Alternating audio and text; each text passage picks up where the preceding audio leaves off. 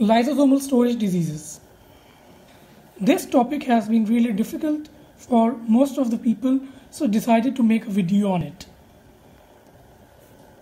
Regarding these diseases, one must know that what are the clinical features of each disease and how to how to compare them and by reading the stem of the question how to decide what is actually the defect how I approach is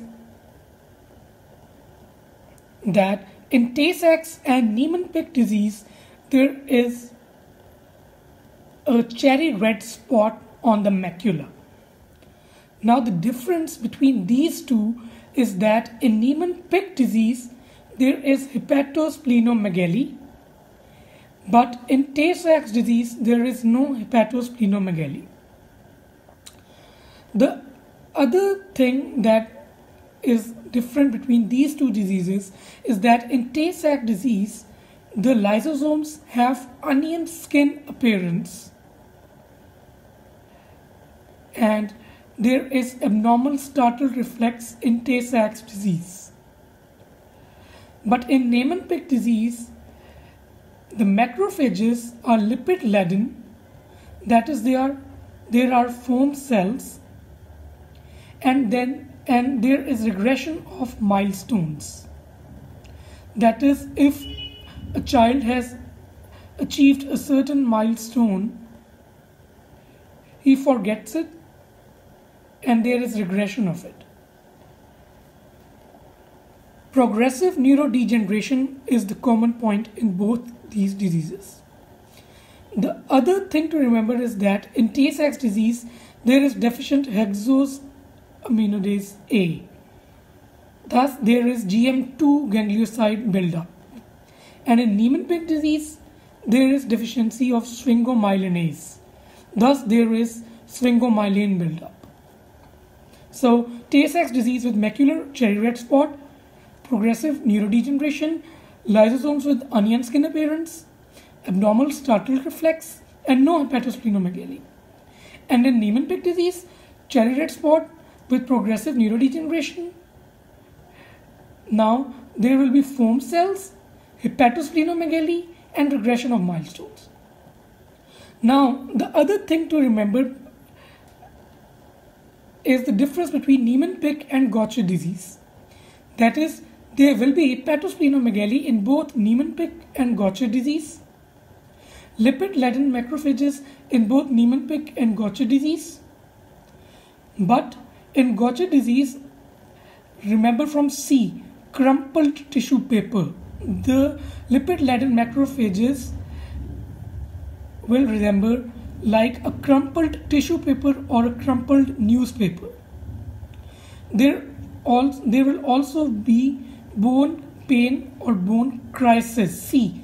Gaucher with crisis, Gaucher with crumpled tissue paper, and Gaucher with pancytopenia. So hepatosplenomegaly, lipid-laden macrophages, crumpled tissue paper appearance, crisis of the bone, pancytopenia. The other thing to remember is that there will be no cherry red spot in Gaucher disease. Now we are left with three diseases, the Fabry, Krabbe and metachromatic leukodystrophy. For Fabry, how I remember Fabry is that there will be the deficiency of alpha galactosidase A. Fabry with A on the second position. That is F A B R Y, A for alpha galactosidase A. Now, other thing to remember about Fabry is that there will be five findings. F-A-B-R-Y, Fabry, has five letters. So there will be five findings, how I remember it. There will be a triad of angiokeratomas, peripheral neuropathy, and decreased sweating. Three things are these, plus two things, renal failure and CVS disease. So angiokeratomas peripheral neuropathy, hypohidrosis with renal failure and CVS disease. Now we are left with two diseases that is the Krabbe and the metachromatic leukodystrophy. How I remember Krabbe is with OK. OK. O for optic atrophy. Whenever I will see a person with peripheral neuropathy, developmental delay, and optic atrophy, it will most probably be Krabbe's disease with galactocerebroside accumulation. Now comes another thing is that there will be oligodendrocyte degeneration. O for optic atrophy, O for oligodendrocyte degeneration. Now comes metachromatic leukodystrophy.